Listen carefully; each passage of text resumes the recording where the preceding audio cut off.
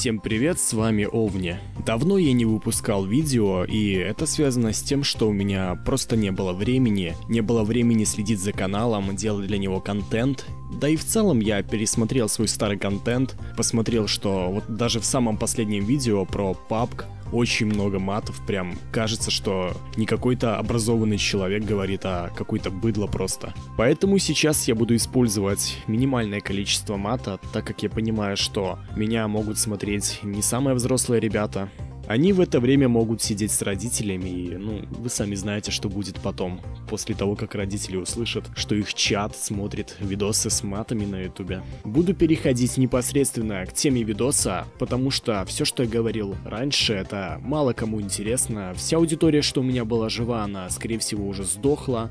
Итак, начнем. Как научиться играть в Brawl Stars, если ты новичок? Вообще, это мой второй видос, как научиться играть. Первый мой видос был по Clash Royale, Роялю. Он набрал 120 тысяч просмотров. Как по мне, это очень много. Я собираюсь этот видос по Brawl Старсу, как научиться играть, разделить на две части. Это будет первая часть. Если я увижу, что этот видос вам зашел, он собирает много просмотров, много лайков, вы оставляете комментарии, то я запишу, обязательно запишу вторую часть. Сразу скажу, что в этой части будут не только мои советы, будут советы более опытных игроков. Один из них входит в топ-300 по миру, поэтому я думаю, что вам все-таки стоит прислушаться к этим советам. Конечно же, после всех советов, что вы услышите в этой игре, вы не станете каким-то проигроком и так далее, но станете ощутимо лучше играть. В общем-то, приступим к самим советам. Я думаю, вы долго их ждали. Ради этого я вас поливал водой 2 минуты в начале видео.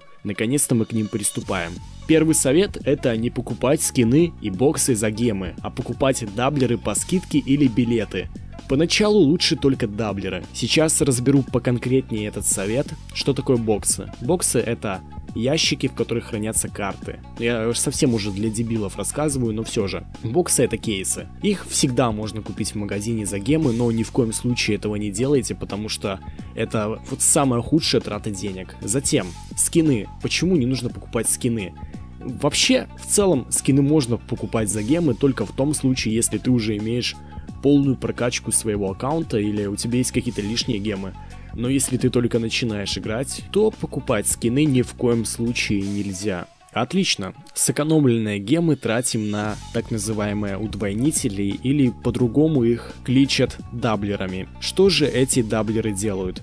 Они увеличивают в два раза количество получаемых жетонов после игры. После того, как вы научитесь более-менее нормально играть и у вас будет более-менее прокачанный аккаунт, можно начать закупать билеты для событий. Следующий пункт, который отличает обычного неопытного игрока от более-менее бывалого, это умение играть без автоатаки или хотя бы пользоваться ею в минимальных количествах. Поначалу на маленьких кубках вы примерно в 100% случаев будете сосать член, потому что на маленьких кубках чаще всего люди играют именно автоатакой, и это очень сильно заметно. Поначалу будет очень сложно отучиться играть без автоатаки. Тем людям, которые только-только начинают играть в Brawl Stars, я советую учиться играть именно без автоатаки. Да, это нужно целиться, это нужно выполнить какую-то, блять, работу, но при этом вы, черт возьми, научитесь играть, и поверьте, результат не заставит вас долго ждать, и буквально через некоторое время вы заметите, как ваши кубки растут вверх. Да и не только кубки, главное, что ваш скилл будет расти вверх, потому что кубки это не показатель скилла. Я не говорю о том, что про автоатаку нужно вообще забыть. Нет, автоатаку можно использовать, когда цель стоит на месте. Например, ящики из столкновения. Отлично, перед тем как начать следующий совет, я хотел бы вам рассказать о своей группе по дизайну. Там вы сможете заказать у меня оформление YouTube канала, оформление своей группы ВКонтакте, создание превью для видео, логотипы, создание сайтов, короче все, что вашей душе угодно, вы можете заказать у меня в группе. Конечно же, заходите и те, кто просто хочет следить за моим вторым творчеством, помимо YouTube, я занимаюсь еще и дизайном, как вы видите, и занимаюсь я им более активно, банально потому, что это приносит деньги, а YouTube мне пока что ничего не приносит. Буду очень рад вашим лайкам и вашей подписке. Эх, ну все можно закончить с саморекламой. Надеюсь, вы меня за это не задизлайкаете, потому что я буду очень плакать.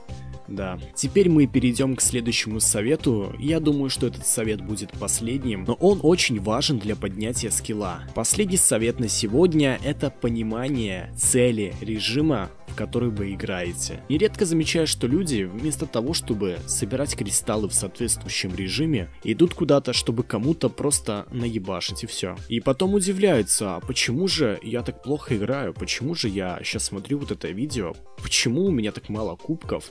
А ответ заключается в том, что ты, когда видишь человека, у которого девятый кристалл, и ему осталось собрать еще один кристалл, чтобы собрать 10 и победить, ты просто идешь ебашить тех чуваков, у которых по 0 кристаллов.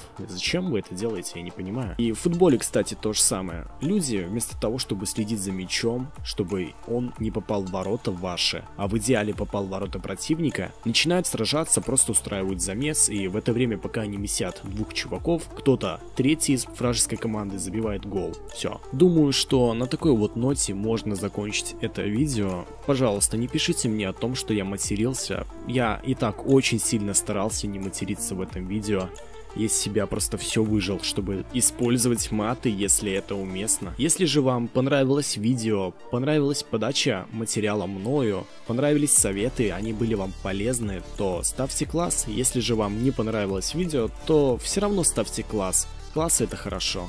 Классы это классно.